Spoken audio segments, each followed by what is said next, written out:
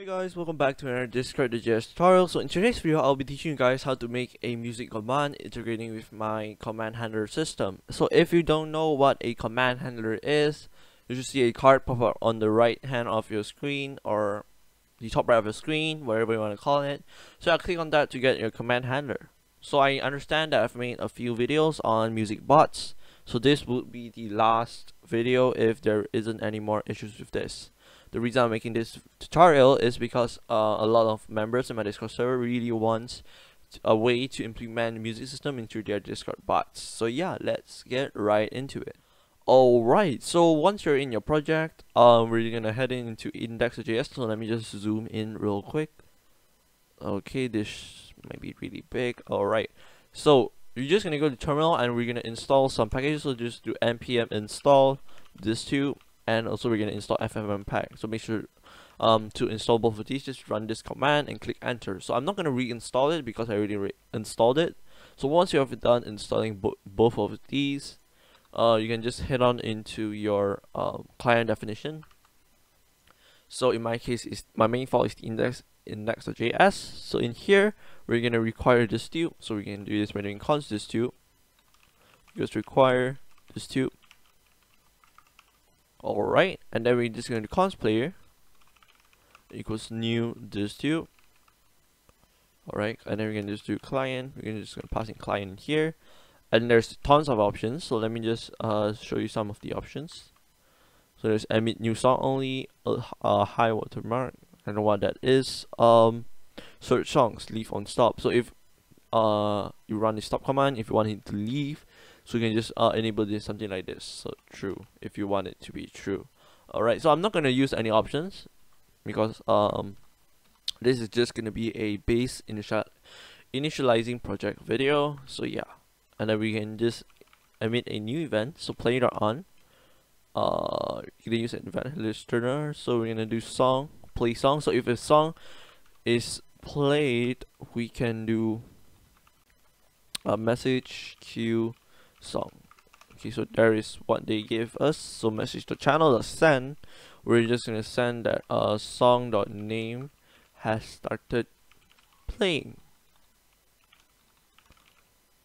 Alright so this is the basic event. Uh we will move on into more events on the later videos so this is the event that we're gonna use in today's video and then uh we're gonna make a we're gonna export our variable our player variable with uh, global. So we're going to use client. So we're just going to client dot player equals to player. See, so we can just it, rather than doing uh, requiring requiring this from index.js, we can just do client player. So we can just do client dot player client player stop, whatever it is. Alright, so uh, we're gonna move on to the player.js command file. If you don't know what it is, uh, where I located this, I just created a folder called music, and I just made a play.js in here. So the first thing you want to do is you want to check if the member has uh is in a voice channel. So if message the member the voice the channel return message the reply please join a voice channel. Alright, so next we're gonna define query. So const query equals args join. If there is no query, return message the reply um please uh enter a song name okay so what's that done uh we're just gonna do await client dot player dot play okay and then uh we can just pass in message and then query and yeah that should be it. Alright so this is for the play command. Next we're gonna move on to the stop command. So uh, same thing. I created a file in the music directory. So uh, in here we're gonna check the same thing. So we're just gonna copy this.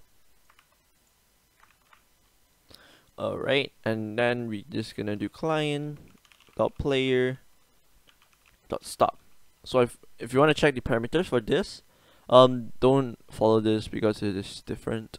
So just go to index.js uh, once after the event you can just do an, a period in here and then you can just type in your function stop and then you should see the uh, parameters in here. So as you can see it's message. It's pretty I'm pretty sure it's the Discord message so let's just remove that and then we can just pass a message in here alright so let's just save the files and yeah let's just test this out.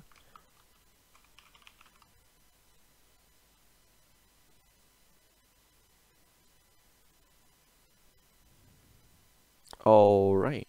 So we can just test this out by playing some music. I already joined a voice channel. So let me just make sure that uh, it's picking up audio. Uh, y play um, NCS okay searching for the song. Alright so once it started playing it will show the title of the song has started playing. As you can see here this is actually uh, written in your index.js the player on play song event has started playing. You can make it bold you can make it embed whatever you want. And then um let me see if it's picking up. Yeah it's picking up. So I have it a little lower. So this is the max volume. Um the reason I made it to a lower volume because it's kind of loud. So in the later videos I will teach you guys how to make a volume command skip command Q command uh customizing uh the commands basically. So yeah. And then let's just try to use the stop command. Why stop? Okay so here the player has stopped. Alright, so yeah, that should conclude today's video on the initializing the music project video. So if you want to see more videos uh, regarding to the music system, uh, make sure to leave a comment, leave a like. Um, if you face any errors with this, uh, feel free to join the supporter. Links will be in the description. Uh, make sure to subscribe, it really helps the channel out. Um, I also make tons and tons of Discord.js videos. Just stay to the end, and then you should see a playlist pop up, right? And then you can just click on that, and you should see um a lot of videos. All right. So other than that, have a nice day. See you again next video. Bye.